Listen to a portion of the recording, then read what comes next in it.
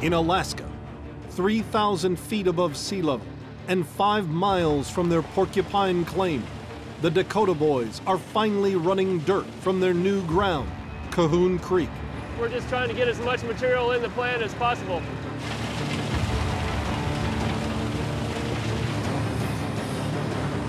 They'll know if they're on the gold when they hit bedrock.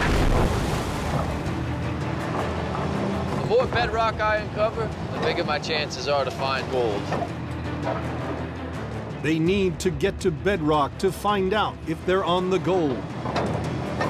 That's gotta be bedrock, man. Please be bedrock.